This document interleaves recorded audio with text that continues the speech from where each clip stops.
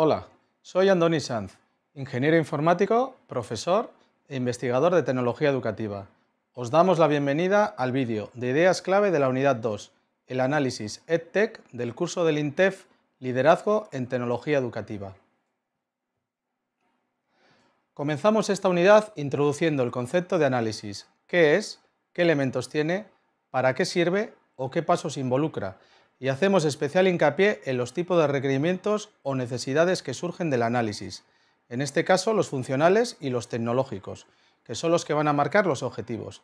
Es muy importante partir de las necesidades de la organización a la hora de hacer un análisis, ya que así podremos delimitar el campo de acción de forma exacta y evitamos divagar o malgastar recursos. Estrechamente unido al proceso de análisis, describimos los sesgos cognitivos, o errores que cometemos habitualmente al analizar algo. Quedarse con la primera información, generalizar los datos o condicionar el valor de una herramienta a las expectativas que genera no son más que unos pocos sesgos que tenemos que intentar evitar para ser lo más objetivos posible.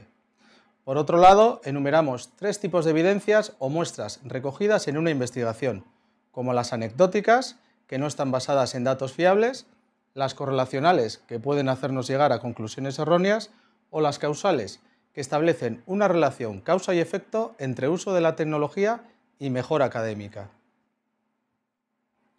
Para poder realizar diseños eficientes, necesitamos un análisis previo basado en una clasificación de las herramientas que van a ser usadas.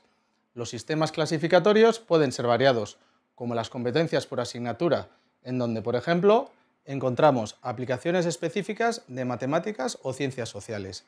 Aquí tratamos sistemas más genéricos, como Bloom, basado en verbos o acciones, como evaluar, crear o analizar. Guilford propone un modelo más complejo sobre la inteligencia, que añade nuevas dimensiones. Y la Universidad de Harvard presenta, presenta su mapa del pensamiento con 14 acciones, destinadas a mejorar la comprensión.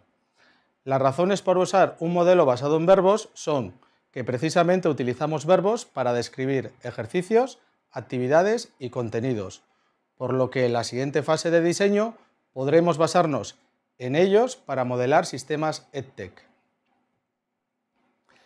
Entre los esquemas clasificatorios explicamos SAMR, ideado por Rubén Puentedura, y que sirve para clasificar las herramientas digitales e integrarlas en los procesos de enseñanza y aprendizaje de forma eficiente. SAMR divide en cuatro estados en donde la herramienta tecnológica sustituye al método tradicional, añade nueva funcionalidad, mejora y redefine o permite usos previamente inconcebibles. La ventaja de este marco es que nos ayuda a clasificar herramientas y a elegirlas situadas en los niveles 3 y 4, en donde las tareas asociadas pueden ser mejoradas notablemente. Por último, remarcamos la importancia de las rúbricas de evaluación, estas herramientas matriciales agrupan indicadores que nos permiten medir de forma objetiva distintas dimensiones de un producto. Para su confección, te proponemos una serie de indicadores de referencia divididos en grupos, los técnicos estratégicos, los económicos o los pedagógicos, entre otros. Con todas estas ideas clave, te animamos ahora a afrontar el reto de esta segunda unidad, el análisis EdTech.